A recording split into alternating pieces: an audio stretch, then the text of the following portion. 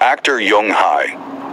In recalls his experience receiving a standing ovation for 10 minutes at the 2024 Cannes Film Festival with his mother watching him.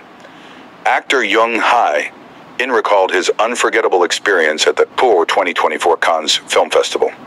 On September 12th, KST, the actor appeared as a guest on the YouTube show Donor Hyung, hosted by Shin Dong Yup.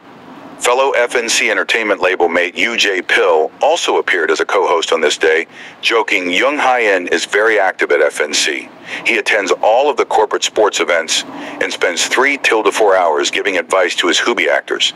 Hearing this, Jung Hae-in commented with a sheepish smile, Was I on a power trip? Also on this day, Shin Dong-yup mentioned that Jung Hae-in's new film, Veteran 2, is premiering soon, September 13th in South Korea.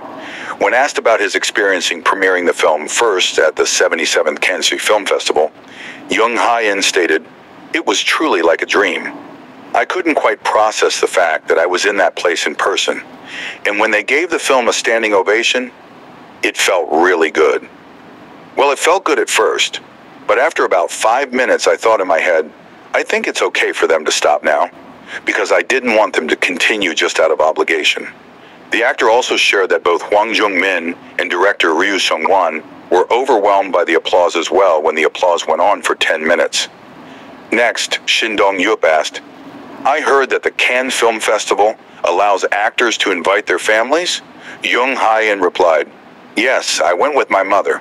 She watched the movie with me and watched me receive the standing ovation from the front row. She was sobbing the whole time, so I purposely avoided looking at her. He added on, Actually, I didn't plan to bring my mother at first.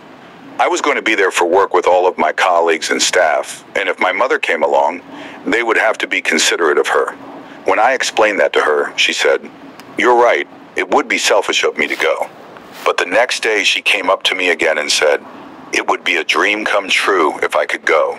Who knows if you'll be invited again, and who knows if I'll be in good health by then. She convinced me with that. It turned out bringing my mother was one of the best decisions I made in 2024 in